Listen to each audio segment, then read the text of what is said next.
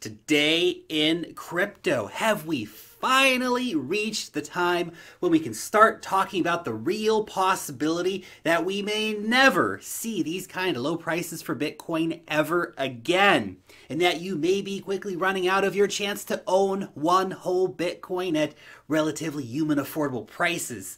OMG, Lark, come on, man, what are you doing? This video is gonna age just as well as your last, last chance to buy a Bitcoin under $10,000 video. Come on, dude, global depression, stock market crash, alien invasion coming. Chill out, internet man. Take another hit from that hopium bong. Okay, okay, okay, those, those are all fair points, but this video will lay out the thesis for why I believe the days of cheap Bitcoin may finally be coming to a close. My name is Lark, and this is where you subscribe for all of the hottest and all of the latest happening out here in the wild, wild land of crypto. Also, a quick reminder before we begin that paying members of Wealth Mastery will be getting this week's issue straight to their inbox on Wednesday night at 8 p.m. Eastern Time. This week, Jesse has a research report for us on LCX, which is a possible major gem for the STO market. DeFi Dad discusses getting the best rates in the DeFi market. Forrest dives into how Polkadot is coming into the DeFi ecosystem and some of the projects you can keep an eye on. Rekt Capital has the latest analysis on Bitcoin and altcoins, and I sit down with a team from Swiss Borg to discuss their product as well as covering all of the latest market trends and upcoming events to watch. All of that for just $39 a month. Let me and my team save your time and help keep you ahead of the curve in these crazy, crazy markets. There's a link down below where you can learn more. Okay, so I believe that we are now entering what will be the biggest super cycle yet for Bitcoin, and that the exciting times it's just starting. We're just getting started in this crazy, crazy bull run. But before I break that down for you, I do need to, of course, add in a disclaimer here. No one knows the future. The markets are indeed looking very bullish right now, but things can change very quickly. I mean, come on. No one foresaw a global pandemic back in December or January this year. Like, it's stuff happens, guys. Stuff happens. Markets are dynamic, markets are highly reactionary, and of course, proper risk management strategies always apply. Now, this video is not intended to get you to FOMO into Bitcoin. In fact, any long term viewers of the channel have probably been dollar cost averaging in, stacking their sats. Dollar cost averaging is is and remains one of the best ways to get exposure to Bitcoin over time. And if you have been dollar cost averaging, you're probably well in profits at this stage. And of course, if you're looking at that long term exposure, it's just, it's solid, it's simple, and it's a really worry free way. Anyway, besides the point. In fact, FOMOing into Bitcoin on a day when Bitcoin is up 20%, usually not a good idea. So instead, this video is intended to highlight the future of Bitcoin and to really just serve as a reminder of where we are in the cycle right now. Now, what many people might have a hard time accepting is that accumulation periods, they come to an end.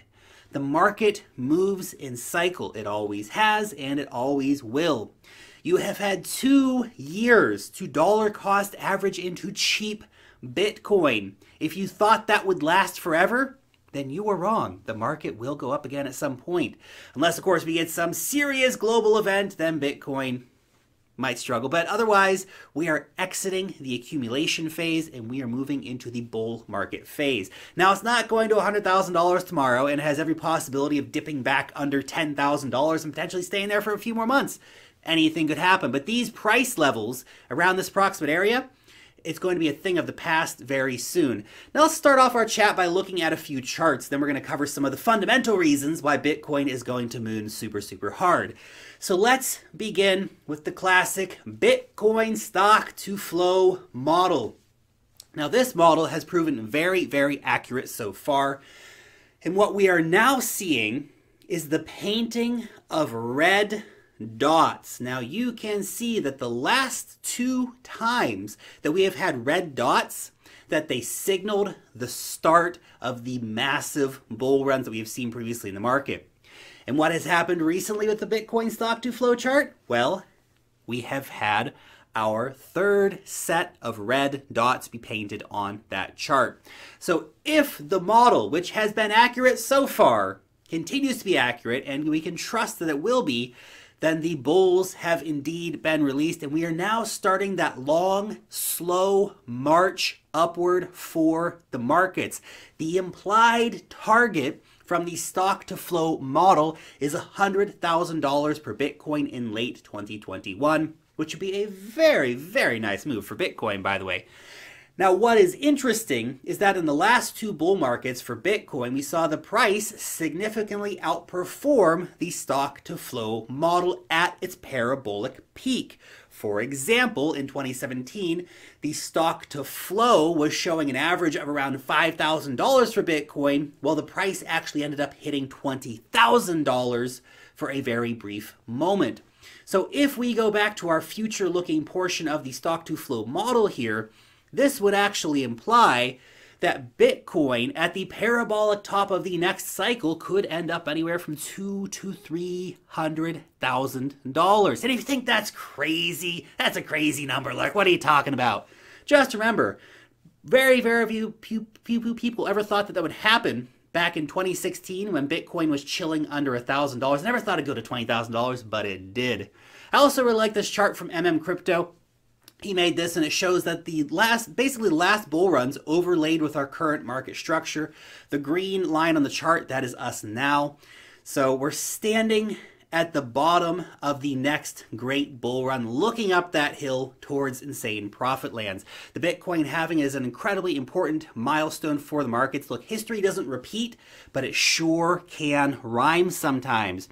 Next, we're going to take a look at the Bitcoin logarithmic growth curve.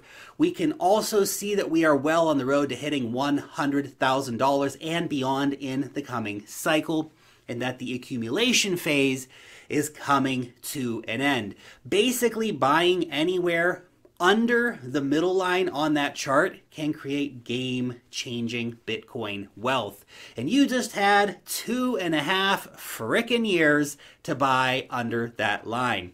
Another fun way to look at this is the Bitcoin rainbow chart, which is still showing a strong buy signal after exiting the this is basically a fire sale period for Bitcoin.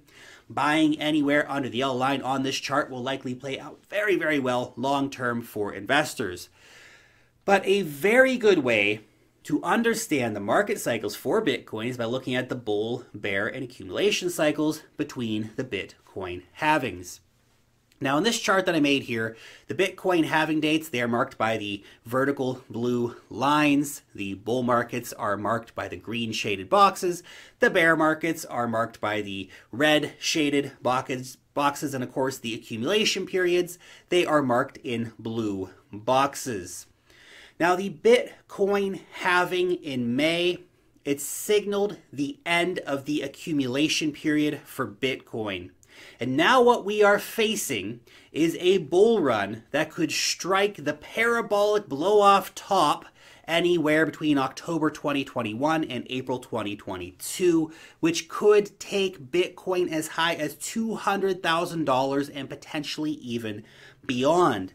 Now, the previous two bull runs, they saw Bitcoin move up by 10,000% and then by around 4,000% in the 2017 bull run. Now, if we assume that we continue the trend of diminishing returns, then that $200,000 becomes a very, very likely number for Bitcoin, or that'll be a 2,000% return.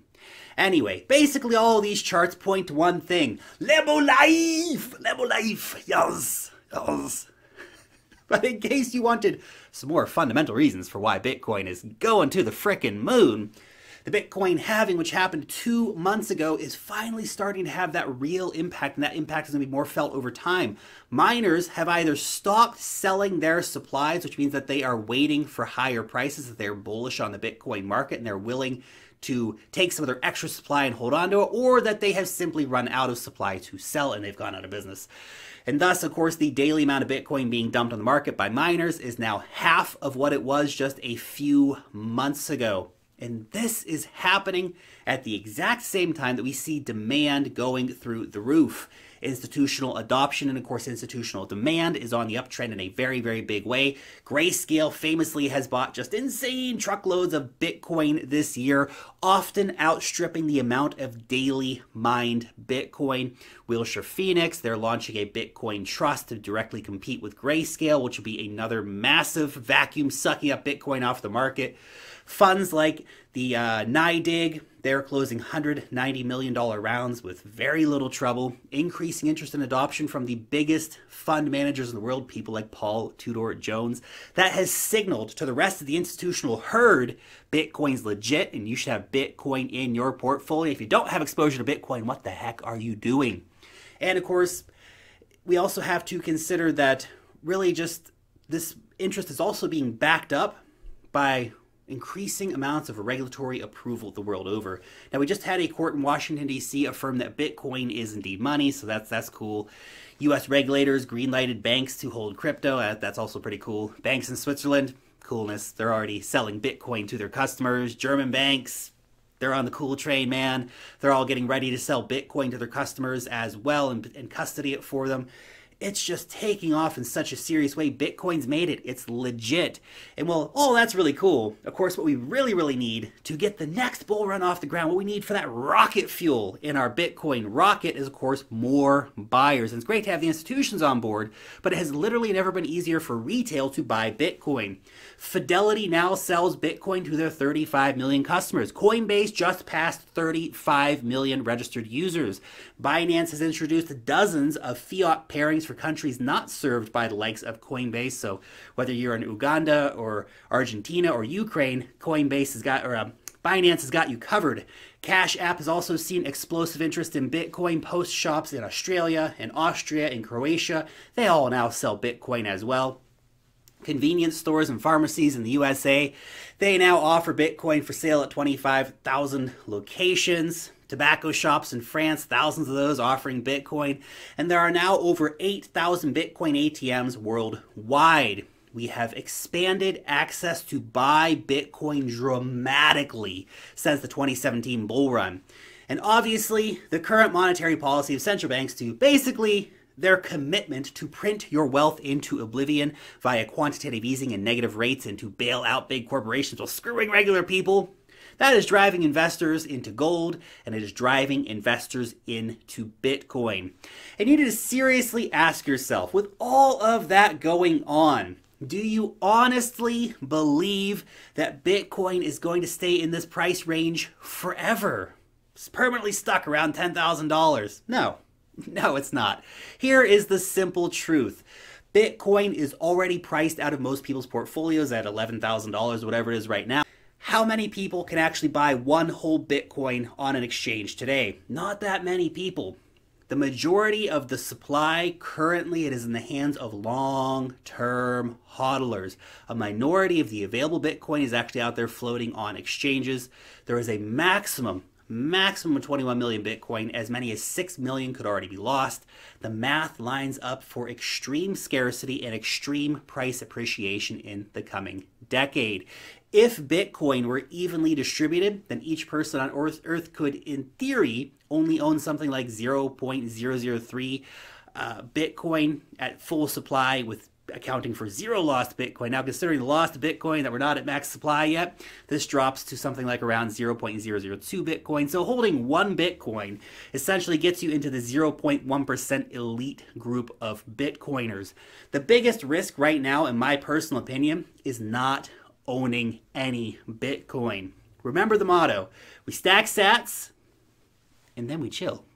This bull run, it will be insane. Anyway, those are just my two Satoshis. What do you think? Are the days of cheap Bitcoin well and truly running out? Or will we have lots more time to buy cheap Bitcoin, alien invasion, global depression, all that jazz, gonna push the markets down? You let me know down below in the comment section.